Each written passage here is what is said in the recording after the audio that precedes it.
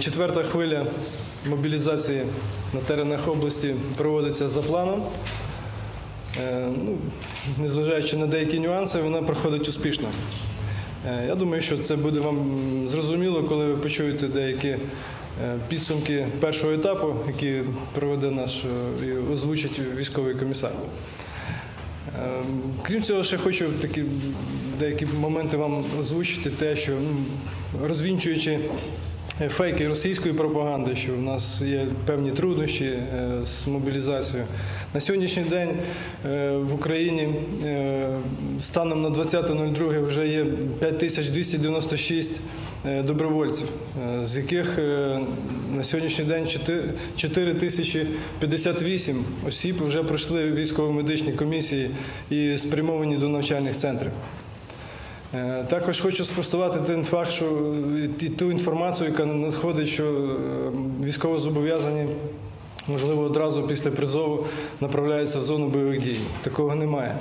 Всі військовозобов'язані направляються до навчальних центрів, де з ними проводиться е, фахова підготовка на протязі 26 днів.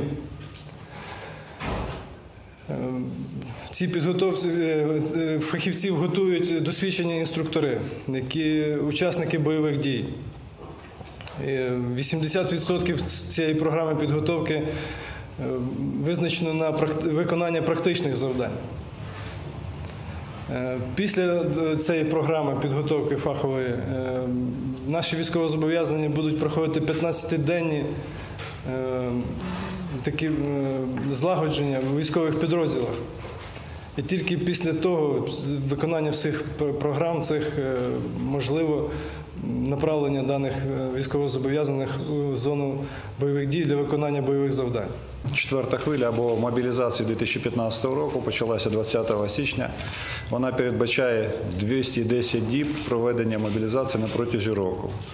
Ну, одна так це перша хвиля 2015 року передбачає 120 діб проведення мобілізації. Сюди в цей термін включається і е, безпосереднє проведення мобілізації, тобто оповіщення, збір і поставка військовозобов'язаних і техніки нашої економіки в військові частини, а також підготовка військово, е, вже військовослужбовців, призваних військовослужбовців, е, як за фахом, спочатку 26 діб, за фахом одиночна підготовка, і після цього на протязі 15 і більше діб уже бойового злагодження у складі військових частин.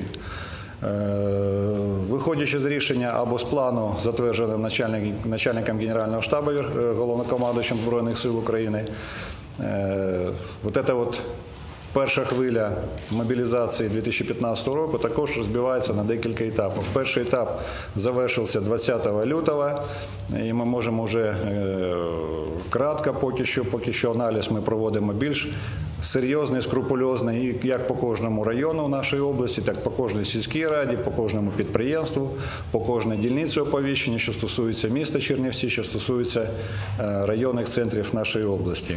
Ми виконали завдання на піс- на 70%, що стосується першого етапу. 73% загальний відсоток виконання е, по військовозобов'язаних. Трошки гірша загальна картина по офіцерах. Ми поставили приблизно 50% від е, потреби е, офіцерів військової частини. Що стосується загального завдання з урахуванням другого етапу, відповідно, виходить по солдатам практично один в один. Скільки ми поставили на першому етапі, так нам стільки ж залишилось поставити і на другому етапі 50%.